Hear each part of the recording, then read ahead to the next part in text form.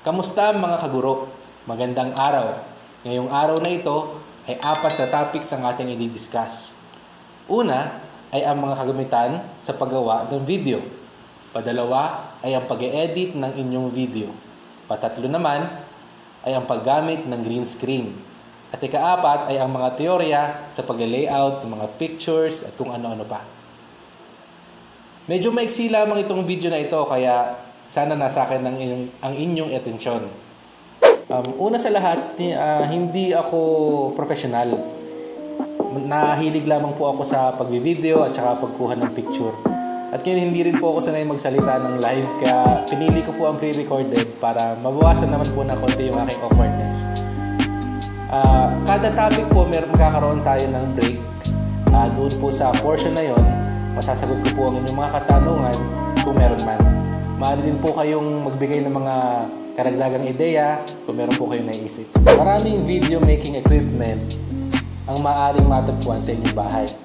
Andyan ang mirrorless cameras, Andyan ang DSLR cameras tulad ng gamit ko ngayon. Andyan ang ating smartphones. Andyan din ang ating mga action cameras tulad ng GoPro, ng DJI. Um, nandyan din ang ating laptops. Andyan din ang desktops. Provided na meron siyang webcam. Pwede nyo rin gamitin ang mga dashcam kung gugustuhin ninyo. Pwede nyo gamitin ang CCTV kung gugustuhin ninyo Iba-iba ang advantages ng bawat camera.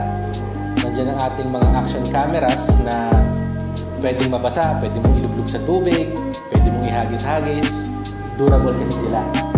Padalawa, nandiyan naman ang ating mga point and shoot, point and shoot cameras na maliliit naman, pwedeng ilagay sa bulsa at swak na swak pag kayo ay magbabiyahe.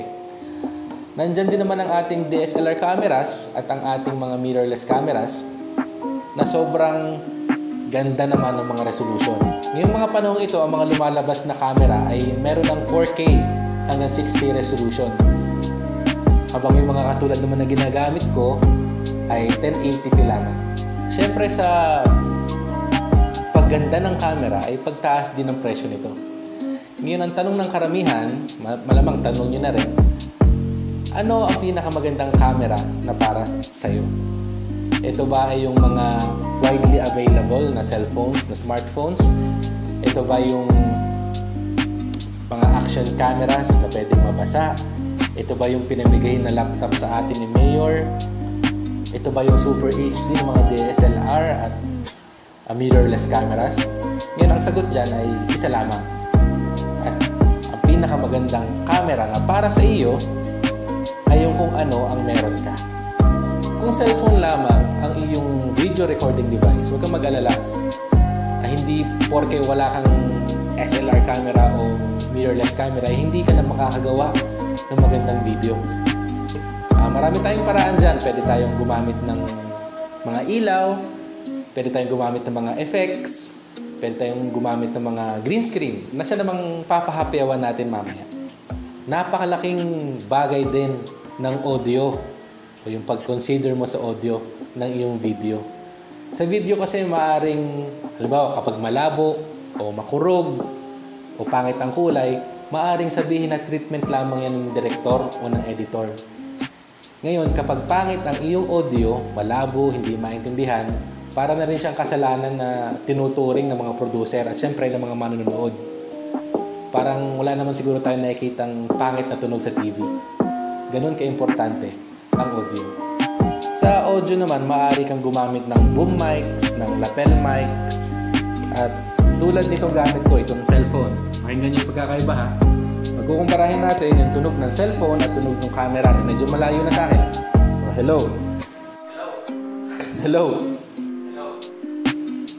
Di ba? Medyo malaki yung pagkakaiba. Malaking bagay na malapit yung inyong audio source sa mismo nagsasalita. Okay. Uh, mapera mga ako ng, ano, ng clapper.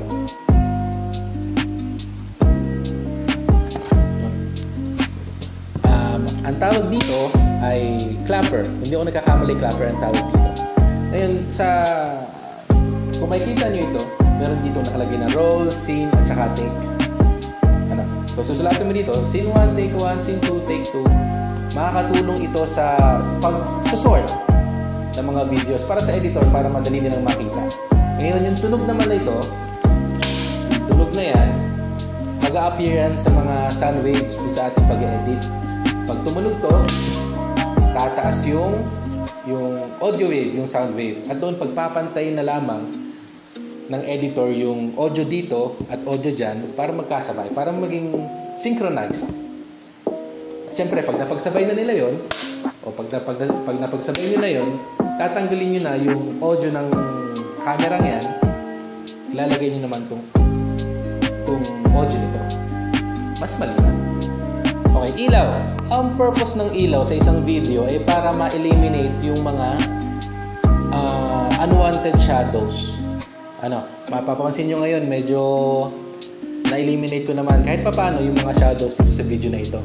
Siguro sa parting ito, papakitaan ko kayo ng behind the scenes para makita nyo aking setup. Okay, so ngayon, ipapakita ko po sa inyo ang setup nung ako yung nag-shoot. Yan, meron po tayong dalawang yan, Rico dalawang soft light para balanse yung paggawa, yung pag-eliminate ng shadows. Meron din po tayong dalawang ganyan na syempre nasa bahay na para mas makatulong sa liwanag. Ito naman pong nasa likod ay ring light na aking tinalikod para lang po sa effect na aking hinahabol.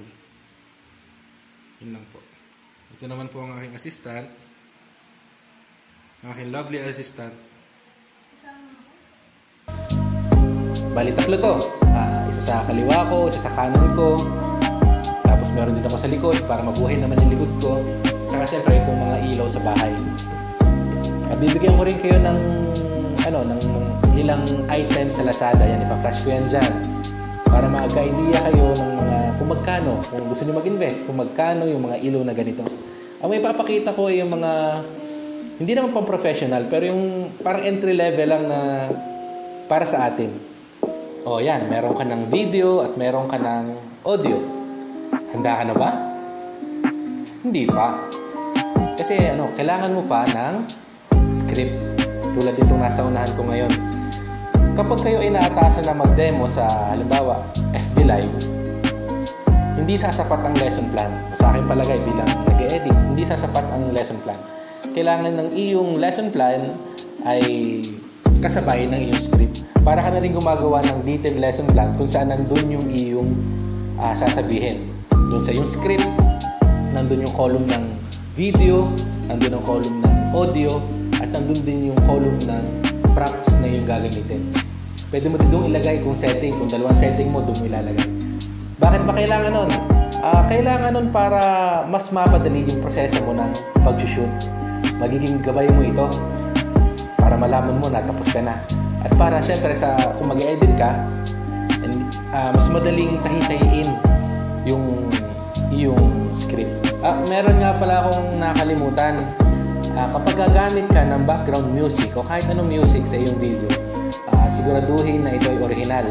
Kung wala naman kayong original music, uh, siguraduhin na ang inyong ita-download ay copyright free. Madali lang naman makakita ng ganung mga kanta. I-type nyo lang sa YouTube uh, copyright free music o kaya royalty free music. Uh, sa ganitong paraan, may maiwasan natin yung mga uh, kaso, yung mga hits sa YouTube.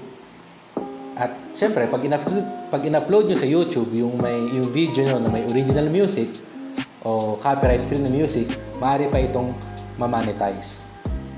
O maaari nyo itong pagkapirahan.